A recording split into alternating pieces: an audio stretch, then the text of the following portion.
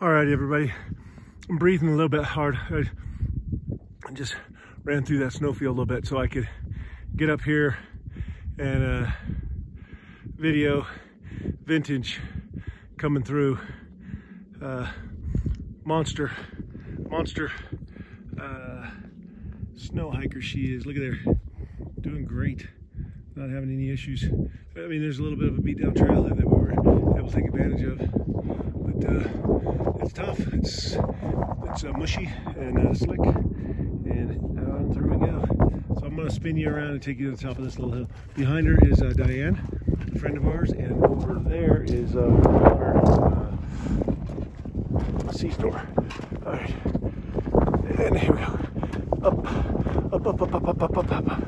This I think will be our last peak today and frankly, the highest and last peak for the last, the next three days or four days. We're, we're going to uh, really start going back down. We're told you we're about 11,000 feet.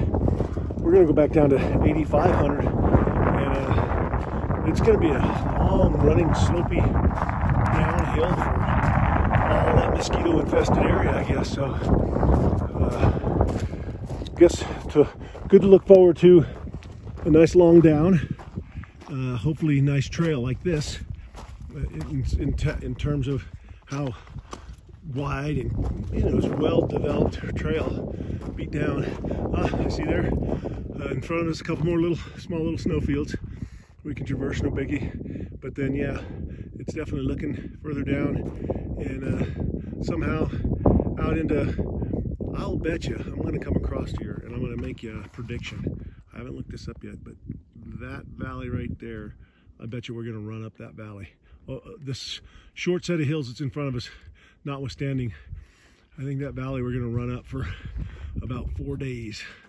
Awesome stuff. So we can get out there into uh, Pitchock Peak, Glen Peak, Matchock, and all that stuff. All right, guys. Hold on, hold on. Somebody just came up on me, and she might want to give us a word of wisdom. Stand by, stand by.